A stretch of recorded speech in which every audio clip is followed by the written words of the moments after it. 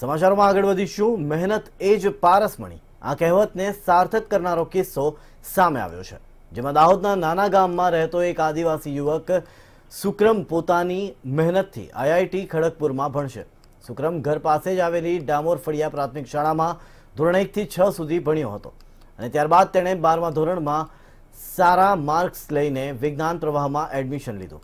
ત્યારબાદ ગેટની પરીક્ષા પાસ કરી દીધી હતી. જોકે હવે તેની મહેનતે તેનું આઈઆઈટીમાં ભણવાનું સ્વપ્ન પૂર્ણ કર્યું છે. B group. પછી મેં ગુજકેટ અને નીટની એક્ઝામ આપી હતી. પછી ગુજકેટ અને બાર સાયન્સના રિઝલ્ટના બેઝ પર મેં એડમિશન લીધું B Tech in biotechnology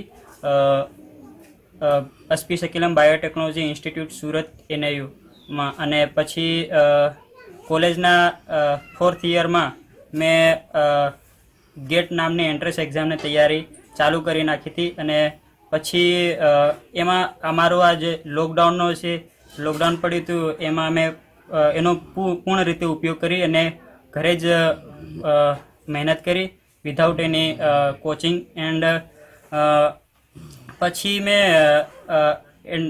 gate, ગેટની exam આપી અને રિઝલ્ટ આવ્યું અને હું ક્વોલિફાય થઈ ગયો. અને પછી મેં મારા કોલેજના પ્રોફેસરો જે છે, એમની ગાઈડન્સ પ્રમાણે મેં આગળની કાર્યવાહી કરી અને એપ્લાય કર્યું દરેક આઈઆઈટીમાં જે મને સુટેબલ છે મારા કોર્સના આધારે. પછી કાઉન્સેલિંગના જે પહેલા રાઉન્ડમાં મને ત્રણ આઈઆઈટીમાંથી કોલ આવ્યો આઈઆઈટી ગુવાહાટી, આઈઆઈટી રૂડકી અને આઈઆઈટી ખડગપુર. પછી મેં અમારા પ્રોફેસરોની હેલ્પને આધારે